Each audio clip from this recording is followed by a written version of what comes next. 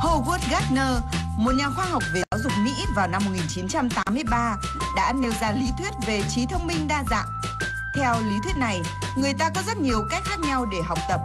Gardner tin rằng mọi người có nhiều cách khác nhau để suy nghĩ và học tập.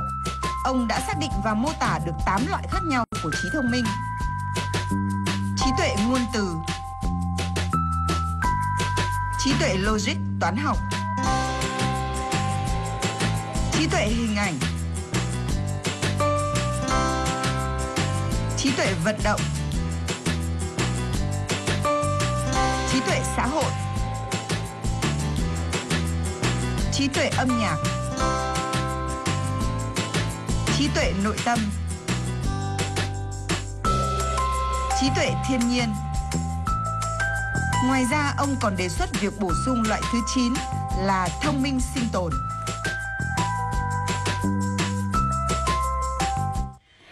Quý vị, quý vị suy nghĩ như thế nào về nghiên cứu của Howard Gardner về đa dạng trí thông minh ạ? Và làm thế nào chúng ta có thể nhận biết được con mình thuộc dạng trí thông minh nào và đồng hành với con như thế nào để con phát triển tốt nhất? Thì ngày hôm nay chúng tôi xin mời quý vị sẽ cùng gặp gỡ với tiến sĩ tâm lý và giáo dục trẻ em, tiến sĩ Trần Thành Nam. Rất vui được gặp lại anh trong chương trình ngày hôm nay và chúng ta đang nói đến một chủ đề tôi nghĩ là rất là thú vị. Thì à, từ cái câu chuyện về trí thông minh của con trẻ tôi lại suy ra chính bản thân mình. Và tôi nghĩ là đây là câu chuyện của rất nhiều các bậc phụ huynh mà tôi đã gặp cũng như là có thể anh cũng đã gặp nữa. Là à, khi mà đến kỳ thi ví dụ như bây giờ đang thiểu kỳ này đó khi mà bậc cha mẹ nhìn thấy kết quả học tập của con mà có cái điểm số nào hơi thấp thấp một tẹo môn này kém môn kia một chút là y như rằng chúng tôi tức giận uh, chúng tôi la hết và chúng tôi hỏi con là tại sao môn này con lại học kém thế? Tại sao con không bằng bạn bạn bè? Tại sao con không thể học giỏi tất cả các môn? Thì uh, theo anh với tư cách là một uh, chuyên gia tâm lý giáo dục anh thấy rằng cái phản ứng của các bậc phụ huynh như vậy có phải là bình thường hay không và hay là chúng tôi đang có cái cái nhìn nhận sai ở một chỗ nào đấy không ạ? À, tôi thì tôi rất hiểu là tâm lý của các bậc phụ huynh vâng. như vậy tại vì là cách thức mà chúng ta quan niệm về trí thông minh à, mọi người ừ, quan niệm rằng trí thông minh nó thể hiện qua cái khả năng học tập. Vì vậy cho nên là một người thông minh thì là học cũng phải giỏi. Và thứ hai nữa chúng ta cứ nghĩ rằng là một người đã thông minh thì tất cả các lĩnh vực đều phải thông minh. Vì vậy cho nên là điểm môn này hay điểm môn kia cũng đều yêu cầu là phải thông minh cả.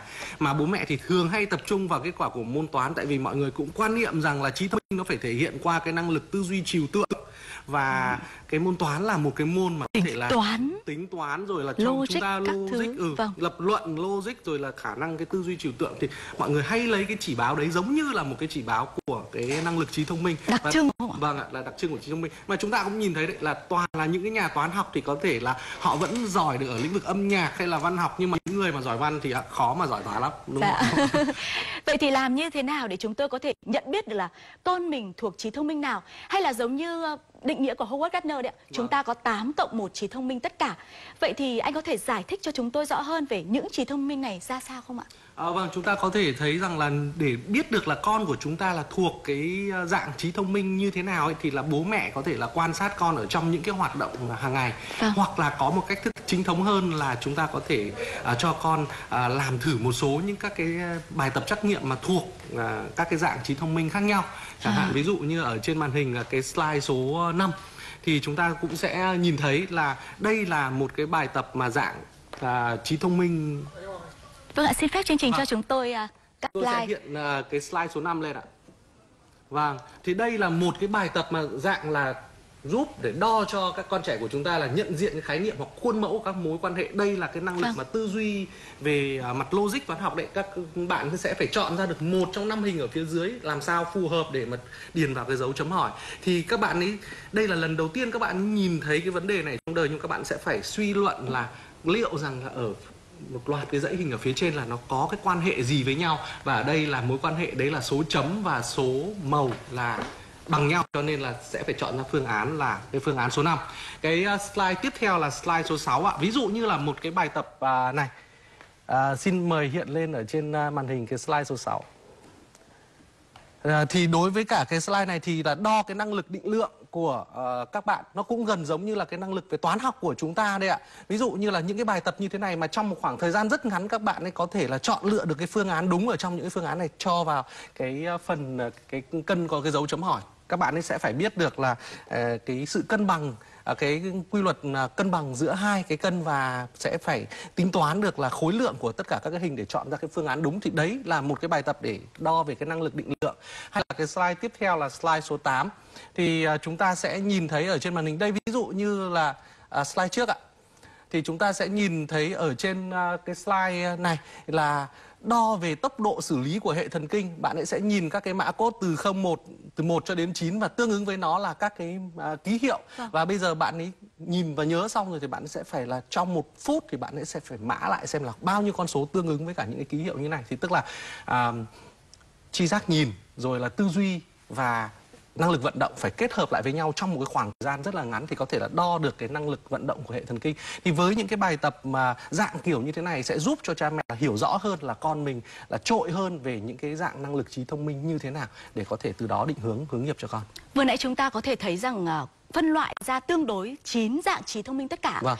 Và vừa anh có nêu một số cái kiểu bài tập trắc nghiệm để Vâng. giúp cho cha mẹ có thể phân định xem con mình thuộc dạng trí thông minh nào.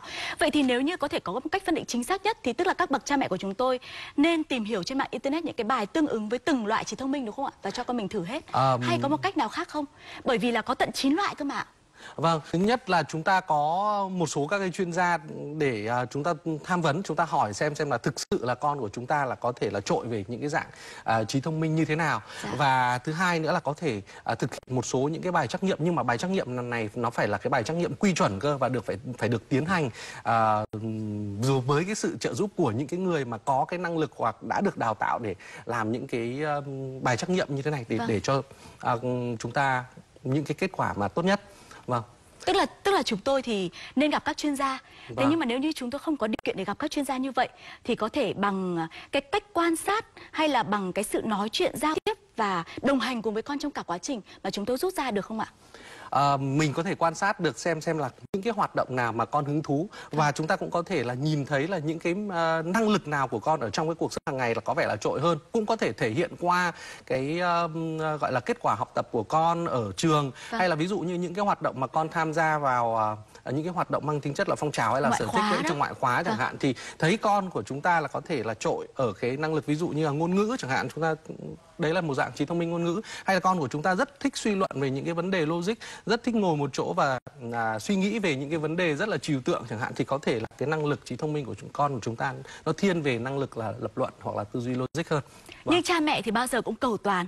Ví Vâng. dụ như tôi đã thấy rằng con tôi thuộc cả trí thông minh ngôn ngữ chẳng hạn. Vâng. Mà tôi muốn con phát triển cả trí thông minh toán học nữa hay là trí thông minh xử lý tình huống hay trí thông minh sinh tồn, tức là một dạng trí thông minh khác thì liệu cha mẹ có thể can thiệp vào cái quá trình phát triển trí thông minh và mở rộng trí thông minh của con không ạ? Ờm, trí thông minh của ừm, chúng ta chúng ta sẽ nhìn thấy rằng là nó phát triển khá là ổn định trong suốt cái ừm, cuộc đời của con người thì trí thông minh nó gồm có hai phần một phần giống như là nó quy định bởi cái bộ gen di truyền của bố mẹ đấy, yếu tố sinh Bản học năng trời vâng. cho đã. thế thì nó giống như là mỗi người sinh ra thì nó đã có một cái lượng nước sẵn ở trong cốc rồi và cái ờ, gọi là những cái năng lực này thì dường như là nó ổn định mà trong suốt cuộc đời nhưng mà nó còn có một cái phần thứ hai của trí thông minh nữa đấy là các cái yếu tố về giáo dục hoặc là môi trường xã hội thì đấy chính là các cái yếu tố mà có thể chúng ta tác động và làm tăng hoặc là làm thay đổi các cái năng lực của con. Chẳng hạn ví dụ như là người ta cũng quan niệm rằng là cái năng lực ghi nhớ cũng là một phần một cái yếu tố cấu thành của cái năng lực trí thông minh con người. Thì cái kỹ thuật ghi nhớ là chúng ta có thể rèn luyện và giúp cho con mình có thể là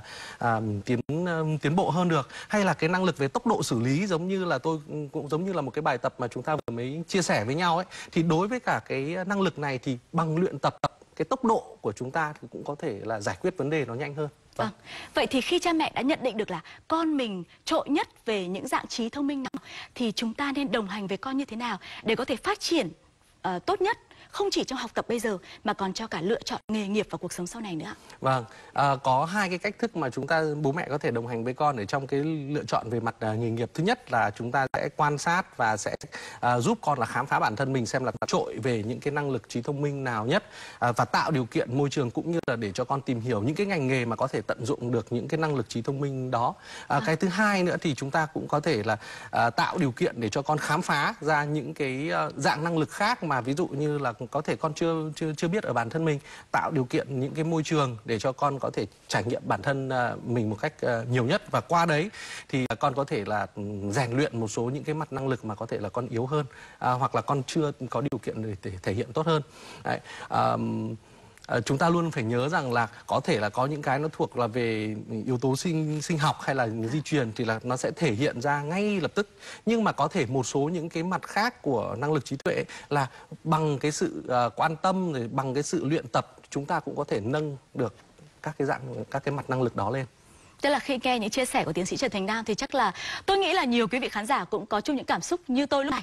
Đấy là khi mà thấy kết quả của con như thế nào đi chăng nữa thì cũng đừng nóng vội, đừng có bực tức mà hãy phân tích tình huống xem là con mình có giải trí thông minh nào và đồng hành cùng con để phát triển những giải trí thông minh đó. À, hãy tự cởi bỏ cái tâm lý đè nặng lên cho mỗi người. Ừ. Xin cảm ơn tiến sĩ Trần Thành Nam đã mang tới rất nhiều những thông tin hữu ích cho chương trình ngày hôm nay. Dạ.